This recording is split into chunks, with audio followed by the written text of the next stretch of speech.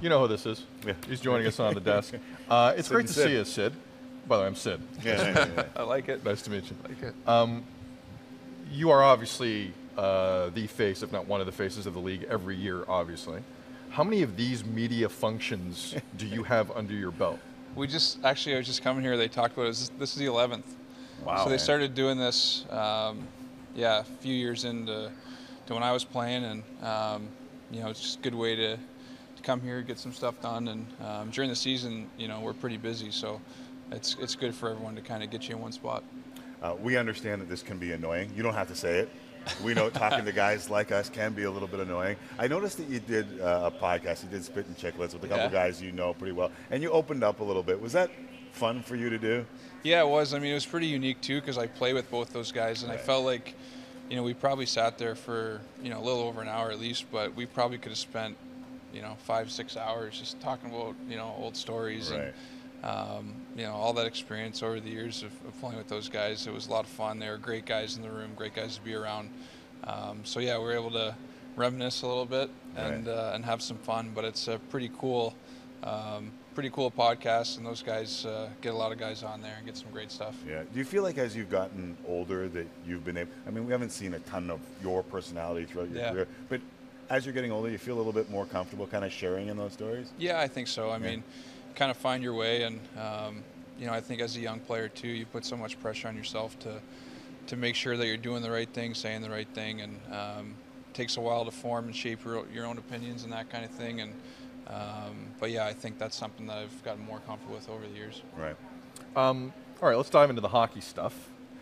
Uh, no Phil Kessel in the room this coming season. Yeah. A, what was it like playing with Phil? Because he's about as, from what I've heard, he's as unique as they come. Yeah. Very talented, as unique as they come. And B, what, what, how does this change the team in your opinion going into the year? Yeah, I mean, I haven't played anyone, played with anyone like Phil, and I probably won't ever play with anyone like Phil. And uh, he was a lot of fun to be around. Um, obviously, we all know his, his personality and, and that kind of thing. But uh, you know, it's it's not going to be easy to replace him. I mean, you know, he was a, a big part of us, you know, winning two Stanley Cups. Um, you know, every year uh, he always produced and found ways, and, and I think that's that's hard to replace. But at the same time, um, you know, when you lose, um, there's always consequences and things happen, and, and that was part of it. So, you know, unfortunately, that's that's the way it shapes out. But uh, he was great. He was great to be around. Uh, they're going to love him in Arizona. Why does everyone say he's unique? Like what? What about him? Like what's we see the hot dogs and the Stanley Cup and Yeah. stuff like that. Like what Yeah. makes him tick? It's it's not that stuff even. It's just Yeah. it's just the things that he says, uh, his outlook. Um, he's just there's no filter. I mean, he says it exactly the way he feels, Right. uh, and uh, you know I think you know sometimes you know you don't always get that. I mean, there are days where guys don't want to say that or. Um, try to keep a good positive mindset, and you know what? If, if he's not feeling it that day, he's gonna let you know. Right. And uh, I think we all respect and appreciate that. Is, was he underrated as a player just because of the kind of the distraction that he can also bring?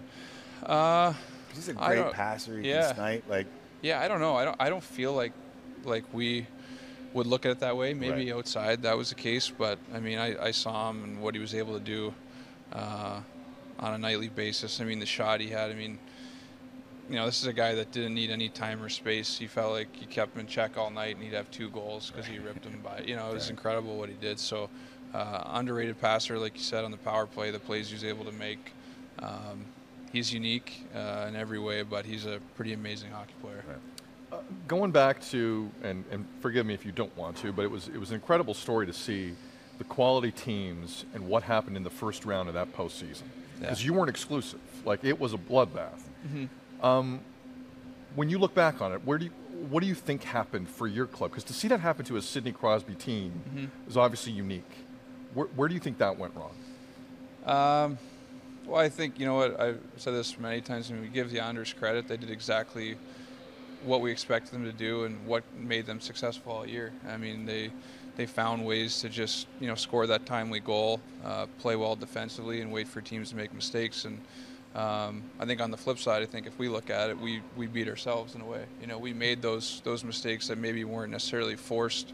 Um, by them, they were ones that were kind of self-inflicted a bit, and uh, you know that that hurts when you lose a playoff series and you feel like you beat yourself a little bit. Um, it hurts, but you also know that that's what they try to get you to do. And uh, we fell into that trap, and I give them credit. They capitalized and, uh, you know, found a way to, to make pretty easy work of us in four games. So that's not something that sits well, but it happens. You got to learn from it.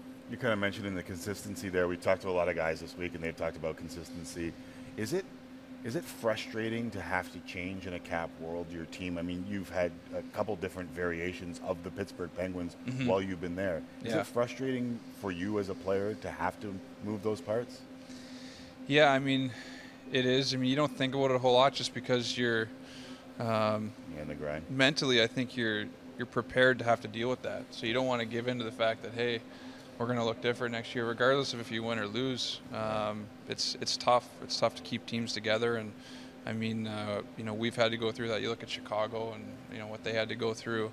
Um, but yeah, you know, win or lose, you have to expect turnover, and that's the way it is, and everyone has to deal with it. But it would be nice if there was a way to keep teams together. And I mean, growing up watching the teams that I watch, and I'm sure for everyone, you know, that's uh, followed hockey for a long time, it was a little bit different. You know, yeah. you saw teams that were together, you saw the personalities kind of come together on teams, and those roles and what they played in teams winning. That was pretty cool to see that all kind of unfold year after Do year. You kind of wish yeah, you played in, in that kind of era, where you guys with the same crew of guys well, together. Yeah. For like first Pittsburgh team would have been really good. yeah. yeah. yeah, yeah. I mean, that's that's pretty neat. I mean, you think about and that Islander team. I think someone said a stat like there was only two different players uh, two or three different players of the four years they won, which right. is pretty incredible looking at that. And those Detroit teams, um, you know, kind of you look at the stars of that team, but also you know the Drapers and Maltbys and McCartys and all those guys that had yeah.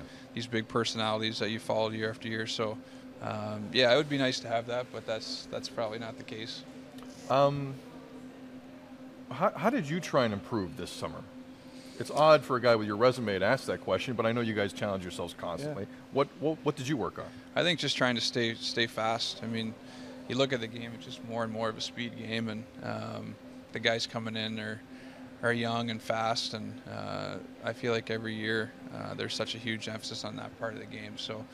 I think as you get older, that's something that takes a little bit more, you know, work and, and time to be able to, to make sure you maintain that. So just just staying fast and uh, that allows you to, to make plays and, and do what you want to do a little bit easier. How long do you want to keep playing?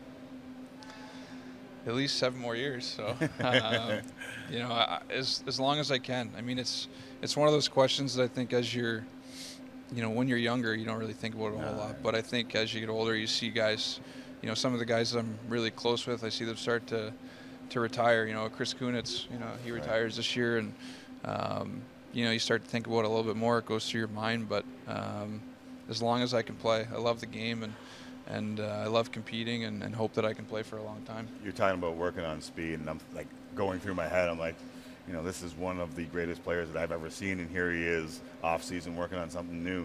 Is, is that is that fun for you? Is the work just as fun as you know the runs to cups and stuff like that? Yeah, I think it, it's different. I think as you get older, I think. Uh, the games and um, you know that part of it I, I enjoy probably the most is just being in the game, the heat of the moment, and right. you know having to make those big plays and um, you know different points in the season that get tough. I mean, even when I missed time and, and wasn't able to play, it wasn't just the good times you miss. You miss having to rally around and being around the guys and right. um, going through those different things. So I think there's a lot of different things. I mean, the preparation is part of it, but I think you know being in the heat of the moment, being in uh, in the games is the best part. Right. Rimouski's going to retire your number later this yeah. month. Yeah. yeah. When did you? How, how, recently were you told that was going to happen?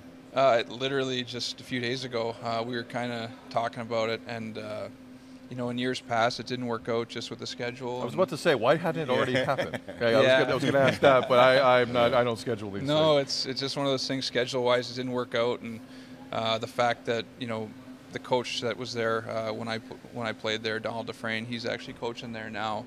Uh, the trainer who was there when I played, he's the trainer uh, there as well. So that's it's nice. It's nice that uh, they're going to be there. It's it's going to be great. I'm really excited for it. It's going to be pretty emotional. It's hard to believe it's been this long. I I can't believe it. It's gone by pretty fast, but uh, I'm really excited to go there and, and experience that. That was a pretty special place and a special couple of years. Oh, that's going to be a blast. That Yeah. evening is just going to be so special Yeah. for you. I can only imagine. You were the face of Rimouski for a while. Sid mentioned face of the NHL, face of Canadian hockey in some ways. Uh, there's some talks going on between the NHL and the PA right now. Would you like the Olympics to be part of those conversations moving forward, even if you're not a part of it, if you're a part of it, regardless? Yeah, I think so. I mean, it's it's such a great experience, and I think you know people love it. Um, you see the, the way everyone rallies rallies around it, uh, follows it. You want to see uh, the best players in the world, you know, um, competing against each other, and, and I think as a player. To be a part of that, you know, just the hockey part's great, but just the whole experience itself is something to be a part of. So, uh, it would make a lot of sense, I think, to, to do that, and hopefully that's the case. Where's the golden goal rank for you? It's pretty high. We had Toews here, and he was he was talking about how great a Yeah. moment that was. was- You got the goal.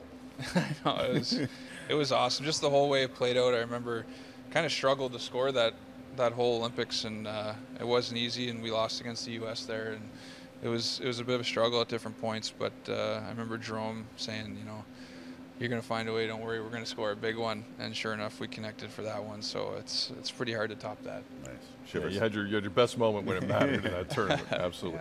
Uh, I still remember uh, when you were in a, a random hotel lobby and everyone realized you were going to be a Pittsburgh Penguin back in the day. Yeah, how and about you're, that? And you're sitting it's here so as, weird to think back. a That's how it was. eh? 32 year old, still with many years ahead of you, hopefully. Yeah. And uh, it's a pleasure, Sid. No, it's great thanks to a see. lot. Appreciate it. Thanks for having me. There was Sidney Crosby Thanks for popping Thanks, by. of the. Pittsburgh Yeah. Penguins.